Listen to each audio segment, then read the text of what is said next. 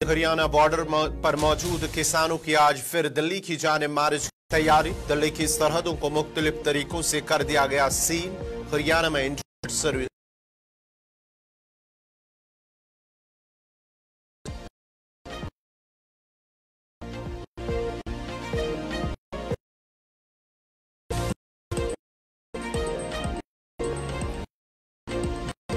दिल्ली के कई अहम मकामात पर सिक्योरिटी के सख्त इंतज़ाम।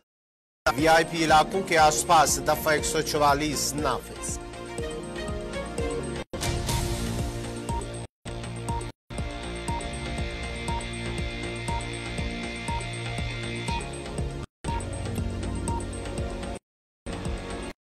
लथपुरा हमले की पांचवी बार और एलची मनोज सिंह ने सीआरपीएफ एहलकारों को पेश किया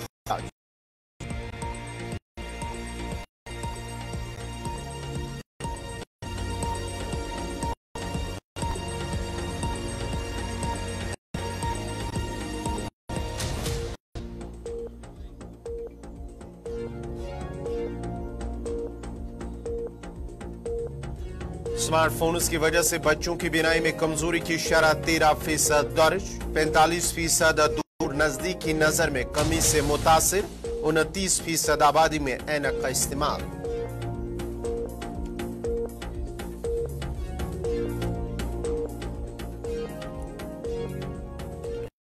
और पेश खबरों की तफसील। किसानों के दिल्ली चलो मार्च का आज दूसरा दिन है और सिंगू बॉर्डर पर डटे हुए किसान आज फिर दिल्ली तक पहुँचने की कोशिश करेंगे। गुजशत शंभू बॉर्डर पर खूब हंगामा हुआ था और पुलिस ने मुजाहरीन को मुंतशिर करने के लिए पानी की बोछाड़ और आँसू गैस का इस्तेमाल किया था। हंगामा आराई के दौरान कई अफराद जख्मी भी हुए, जिनमें पुलिस का एक डीएसपी भी शामिल को रोकने के लिए दिल्ली की तमाम सरहद सील कर दी गई है। सिंगू बॉर्डर टिकरी बॉर्डर और गाजीपुर बॉर्डर पर बड़ी तादाद में पुलिस फोर्सेस तैनात हैं। सरहद पर खारदार तारों और सीमेंट की रुकावटें नज़र आ रही हैं। ताम किसान अपने मुतालबात पर डटे हुए हैं। उनका कहना है कि हुकूमत उनके मुतालबात पर संजीदा नहीं है। ऐसे में किसान तमाम रुकावटों के बावजूद आज दिल्ली की तरफ़ मार्च करने की पूरी कोशिश करेंगे। किसान दिल्ली से 200 किलोमीटर दूर शंभू सरहद पर डटे हुए हैं। कल की हंगामा आराई के बाद आज फिर किसानों ने दिल्ली की जाने मार्च की तैयारी की। हरियाणा के आठ अजला में इंटरनेट सर्विस 15 फरवरी तक मुअत्तल रखने का ऐलान किया गया है।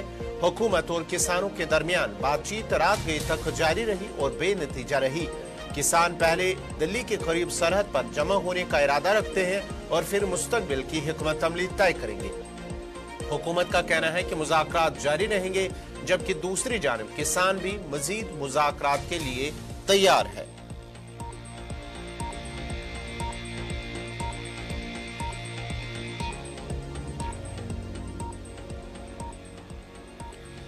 इधर दिल्ली पुलिस ने दिल्ली के कई अहम मकाम पर किसानों के एहतजाज के पेश नज़र सिक्योरिटी के सख्त इंतज़ाम किए हैं, जिस दौरान बैरिकेडिंग के साथ साथ खारदार तारे भी लगा दी गई हैं।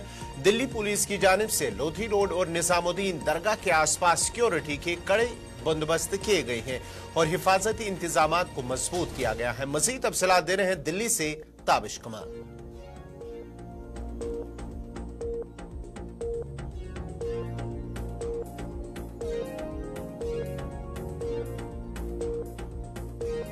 दिल्ली में किसानों का आंदोलन को देखते हुए तमाम जो बॉर्डर है, उनको तो सील किया गया है, लेकिन दिल्ली पुलिस ने भी दिल्ली के अंदर अपनी पूरी तैयारियाँ कर ली हैं। ऐसे इलाके जो बहुत संवेदनशील है, जहाँ पर बहुत ज़्यादा वीआईपी मूवमेंट रहते हैं, उन इलाकों पर कड़ी मुस्तैदी कर दी गई है। इस वक्त नई दिल्ली जिला के बॉर्डर पर हम मौजूद हैं। ये वो इलाका है जो दिल्ली के अहम इलाकों को, यानी उन इलाकों को जोड़ता है, जहाँ पर प्रधानमंत्री आवास या तमाम मंत्रियों के सांसदों के आवास है।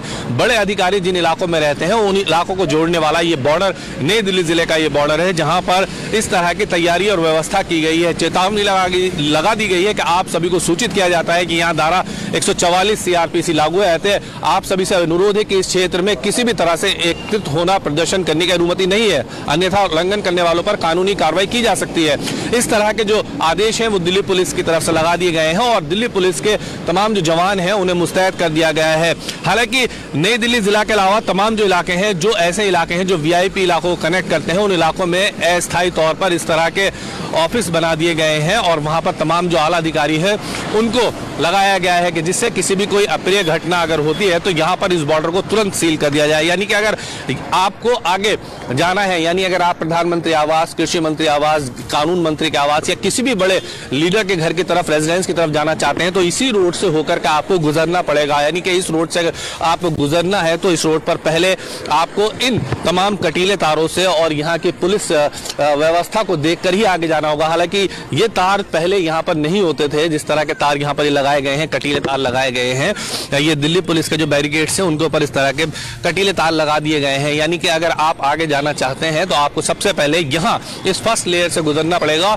और ऐसे में दिल्ली पुलिस के जवानों को यहाँ तैनात कर दिया गया है। यानी आप यहाँ से आगे जाने की अगर सोच रहे हैं तो बहुत नामुमकिन सी बात होगी, क्योंकि दिल्ली पुलिस की एक पूरी टुकड़ी को यहाँ पर बैठा दिया गया है। तमाम आला अधिकारियों को यहाँ पर खड़ा कर दिया गया है। अगर कोई भी इस तरह की अप्रिय घटना होती है, या कोई इनपुट्स दिल्ली पुलिस को मिलता है कि किसान बॉर्डर क्रॉस कर गए हैं तो पहले उन्हें यहाँ रोकने की कोशिश की जाएगी। अगर आपको नई दिल्ली जिला इलाके में, यानी अगर आपको इस एरिया में जाना है जहाँ पर आप जाना चाहते हैं, क्योंकि किसान लगातार ये कह रहे हैं कि हम प्रधानमंत्री आवास या कृषि मंत्री या तमाम जो मिनिस्टर हैं, उनके घर तक जाएँगे तो आपको पहले इस बैरिकेड से गुजरना होगा और इस बैरिकेड से गुजरने के लिए आपको तमाम जो जवान है, इनके सामने से ही निकलना होगा। और ऐसा नामुमकिन है, क्योंकि जिस तरह की ये तैयारियाँ की गई हैं दिल्ली पुलिस की तरफ़ से, वो बेहद कड़े इंतज़ाम किए गए हैं। साथ ही यहाँ पर कैमराज लगाए गए हैं और रात को रुकने के लिए लाइट की व्यवस्था की गई है। यानी जो पल पल की निगरानी इन कैमरास के ज़रिए दिल्ली पुलिस उन पर निगाहें बनाए हुए है। यानी हर आने जाने वाले व्यक्ति पर निगाहें रखी जा रही हैं और ऐसा ही नहीं है। कुछ कदम की दूरी के बाद एक और बैरिकेड लगा दिया गया है। यानी अगर आप नई दिल्ली इलाके में और इन इलाकों में खास तौर से आएँगे तो आपको इन तमाम बैरिकेड से गुजरना होगा। दिल्ली पुलिस पूरी तरह से तैयार है। अगर किसान दिल्ली में एंटर हो भी जाते हैं, पहली बात तो जिस तरह की तैयारियाँ की गई तो नामुमकिन सा लग रहा है, लेकिन अगर उसके बावजूद भी किसान एंटर हो जाते हैं तो दिल्ली के अंदर भी तमाम सख्तियाँ और तमाम जो कोशिशें किसानों की हैं, उन्हें विफल करने के लिए दिल्ली पुलिस पूरी तरह से तैयार नज़र आएगी। वीडियो जर्नलिस्ट साजिद के साथ ताबिश कमाल। लथपुरा हमला, पुलवामा हमले की आज पांचवी बरसी मनाई जा रही है और इस सिलसिले में वज़ीर अजम नरेंद्र मोदी ने सीआरपीएफ के जवानों को खराज अकीदत पेश किया। उन्होंने 2019 उनके काफिले पर हुए हमले में अपनी जानें गंवाई हैं। वज़ीर अजम ने एक्स पर एक पोस्ट में कहा है कि बहादुर हीरोज को याद करते हुए जिन्हें मुल्क ने इस दिन पुलवामा में खो दिया था। हम उनकी अजीम कुर्बानी को कभी नहीं भूलेंगे। उनकी हिम्मत हमें एक मज़बूत और तरक्की याफ्ता हिंदुस्तान बनाने की तरकीब देती है। इधर, दीगर लीडरान ने भी हमले में जामबाग सीआरपीएफ एहलकारों को खराज अकीदत पेश किया है और कहा है कि पूरी कौम उनके खानदानों के साथ मजबूती से खड़ी है। इधर जम्मू कश्मीर के लेफ्टिनेंट गवर्नर मनोज सिन्हा ने पांचवी बरसी पर एहलकारों को खराज अकीदत पेश करते हुए कहा है कि उन एहलकारों ने अपनी जानों का नजराना जम्मू कश्मीर में अमन और सलामती और कानून की बालादस्ती के लिए दी है और उनकी ये कुर्बानियाँ हमेशा याद रखी जाएगी।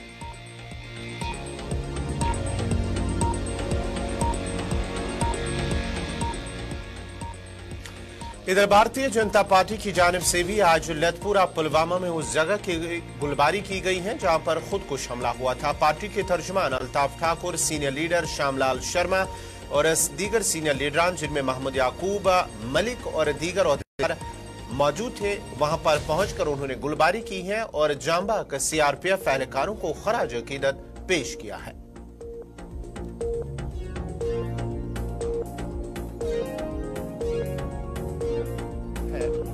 कि ये जो काला दिन है और बेगुना हमारे जो जवान यहाँ पे शहीद हुए थे, उसका बदला तो भारतवर्ष ने जो है वो लिया, क्योंकि आज की जो गवर्नमेंट है हमारी और जो हमारे मुल्क की सरबराही कर रहे हैं, आज दुनिया में हिंदुस्तान की डेमोक्रेसी का और यहाँ की सरकार का जो है वो ढंका जो है वो बज रहा है, उसका कारण ये है कि एक बहुत ही सशक्त प्रधानमंत्री और सरकार हमारे पास है।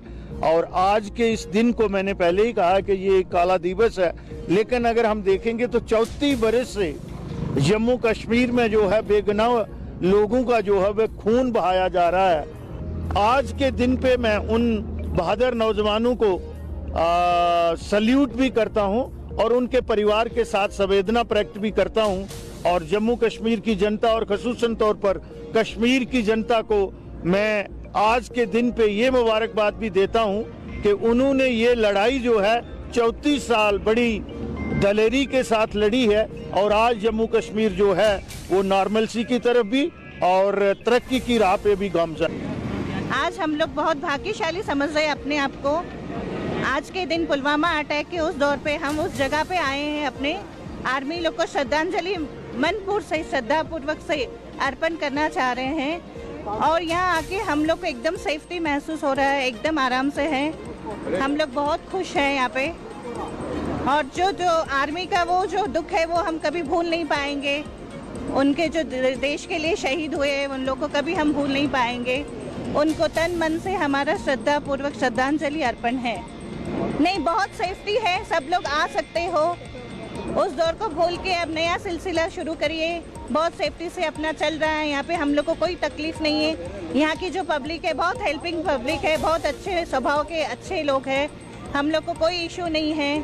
देश के लिए, वो लोग भी हम लोग के लिए रेडी तैयार है हर वक्त हेल्प करने के लिए। लथपुरा पुलवामा हमले की पांचवी बरसी के सिलसिले में जम्मू में भी एक तकरीब मुनद हुई है, जहाँ पर जम्मू कश्मीर के, जम्मू कश्मीर भारतीय जनता पार्टी के रियासती सदर अमिंदा रैना, उन्होंने वहाँ पर खराज अकीदत, जो जाम्बा का सीआरपीएफ एहलकार है, उनको खराज अकीदत पेश किया और साथ ही साथ भारतीय जनता पार्टी और साथ मकामी लोगों की एक बड़ी तादाद ने उस तकरीब में शिरकत करते हुए जाम्बा सीआरपीएफ एहलकारों को खराज अकीदत पेश किया ये भारतीय सेना के जांबाज वीरों को पूरा देश नमन करता है। देश नमन करता है अपने अमर दानियों को जिन्होंने मातृभूमि के लिए अपना सर्वस्व अर्पण किया। देश नमन करता है अपने उन वीर बलिदानियों के लिए जिन्होंने अपने अदम्य साहत शौर्य पराक्रम और उत्कृष्ट युद्ध कौशल।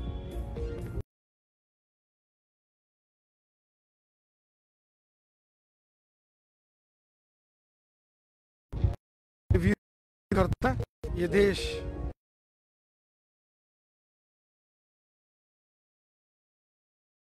ने